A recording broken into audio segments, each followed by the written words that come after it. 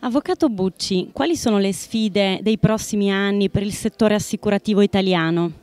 Ma eh, sicuramente si dovranno registrare necessariamente delle aggregazioni, eh, ne abbiamo viste, alcune abbiamo anche seguite eh, nel campo anche del private equity, quindi si vedranno degli investimenti eh, interessanti anche da parte di soggetti esteri in società assicurative nazionali al fine di strutturare eh, dei veri e propri gruppi con degli add-on in modo da riuscire a ottenere una massa critica di eh, premi e di quindi valori assicurativi importanti eh, a livello italiano e possibilmente anche estero.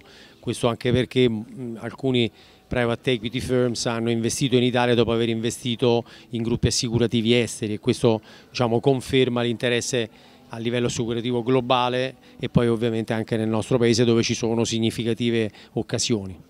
Grazie Avvocato. Grazie a lei, arrivederci.